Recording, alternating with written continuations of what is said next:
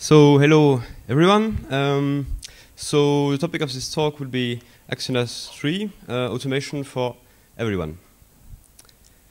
So, first, what do we want to, uh, what is actually the meaning of automation? Because that's a word that's used in many uh, contexts. Um, in that case, it's software uh, automation, uh, it's a, software automation tool. That means that it's uh, most often used in games, uh, software validation, um, business applications. Um, so it's it's not um, it's not like software that you can use to test your program. I mean, you can do that, but it's it has a wider, um, um, broader range of users. Um, so it works as scripts, uh, and scripts contain different actions, and actions can be uh, mouse clicks, key presses, um, window management, um, actions, file access, etc. And uh, there, there are 46 um, different um, actions. So for everyone, because uh, you, you, don't need to learn any new programming um, language to use it, you just have to drag and drop uh, the actions, um, and that allows non-programmers to use uh, that tool and um, automate some actions.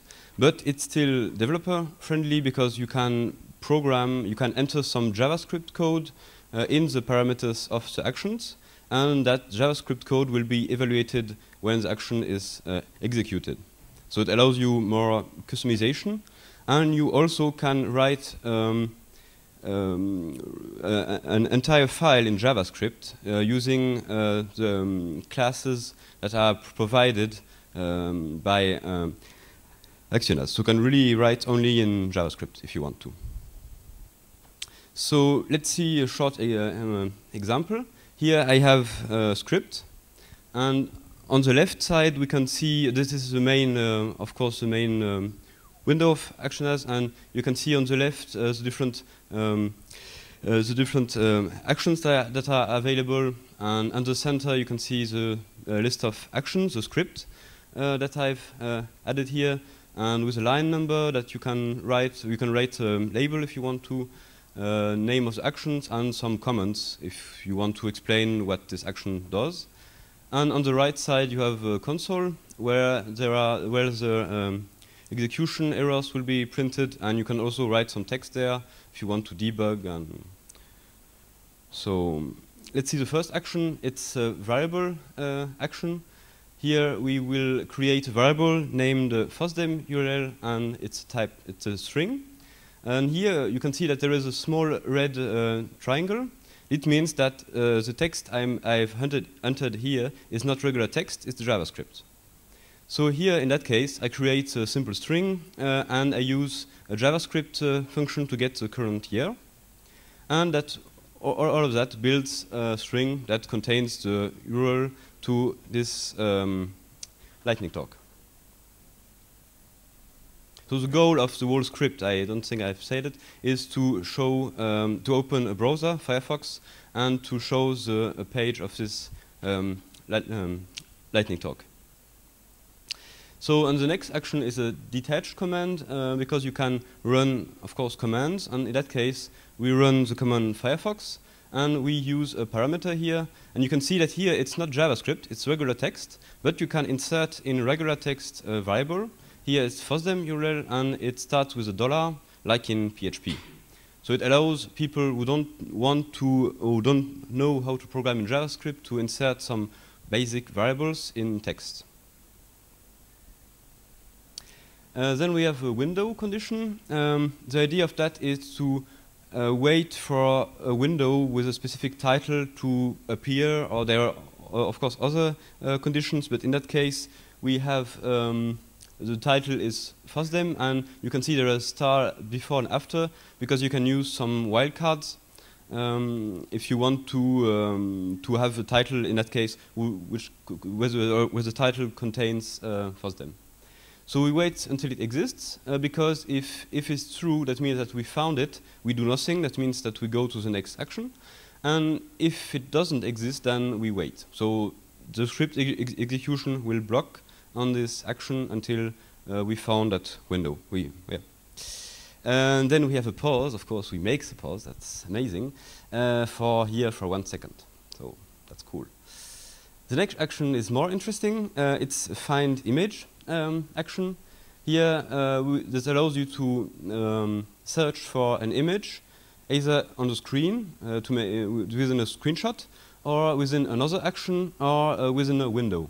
Uh, that uses um, some the OpenCV um, um, algorithm, and um, here we search on the screen for um, image called FOSDEM, and its uh, image here. So it's the FOSDEM logo because we need to search that on the on the browser, um, and we store the result, um, the position we found in a new variable called FOSDEM position.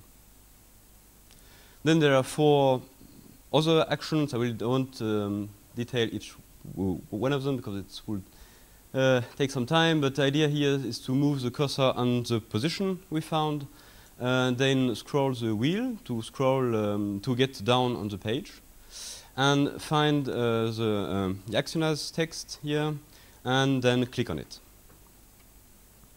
And that works. Should work.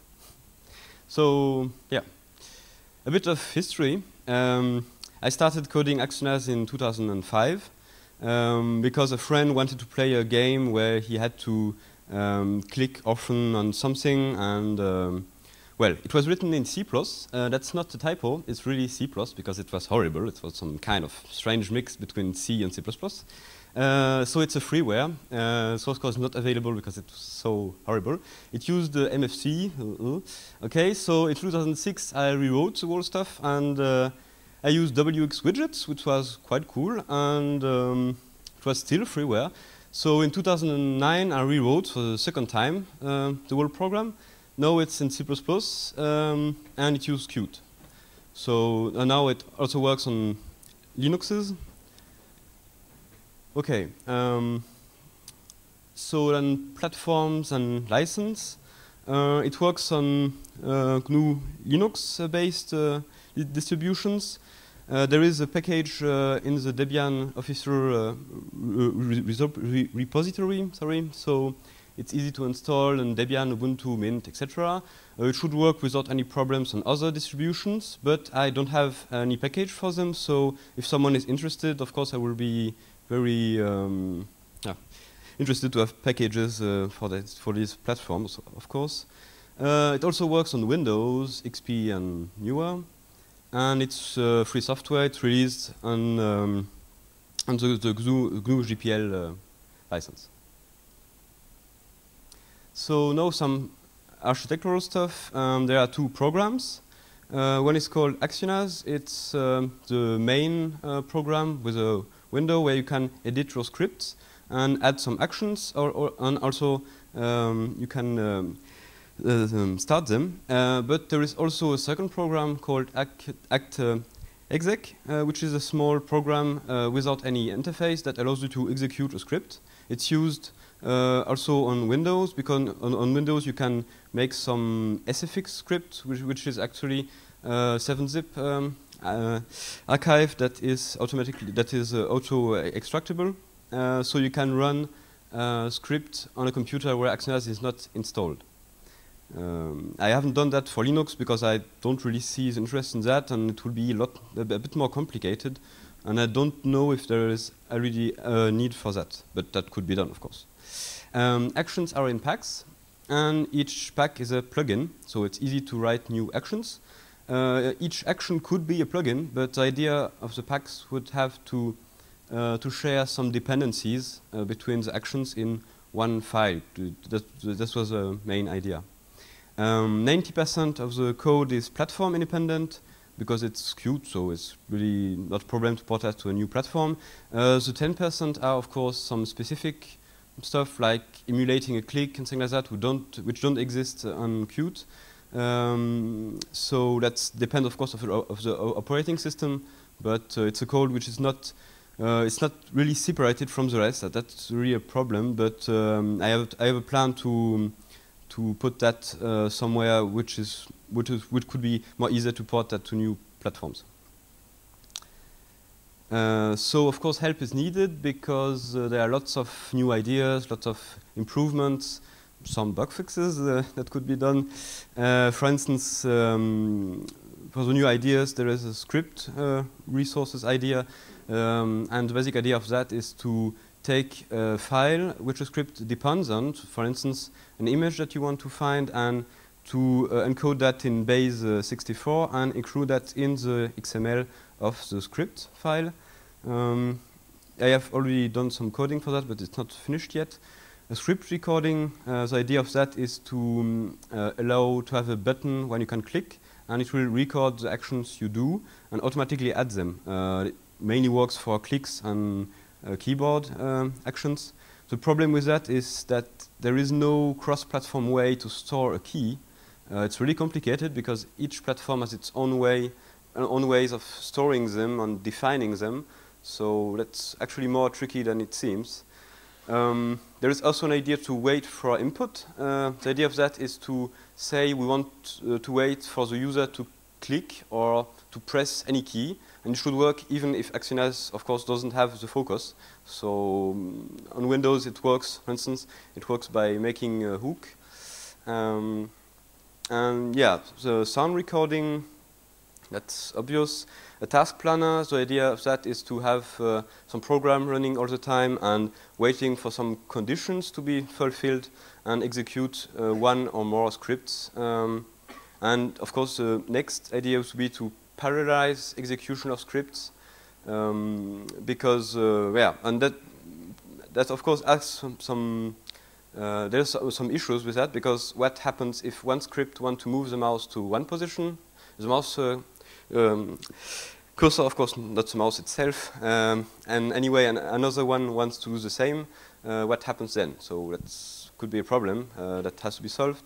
And the other idea is to make a script database um, that allows users to upload scripts and download scripts from others. Uh, of course, there will, there will have to be some um, some um, checking for the scripts because a script can potentially do uh, um, anything on your computer, so it's better if, if it's not some um, evil stuff. So yeah.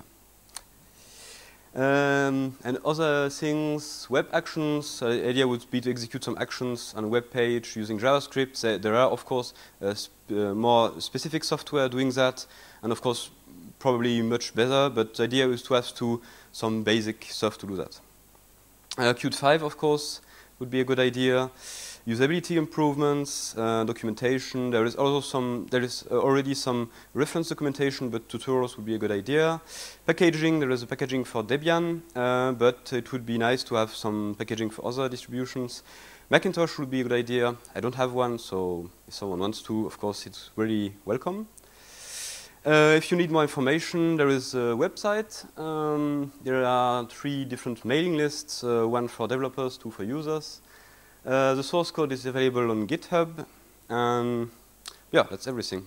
So thank you, everyone. Thank you, FOSDEM, of course. And uh, if you have some questions, I will be outside uh, near the door. Thank you.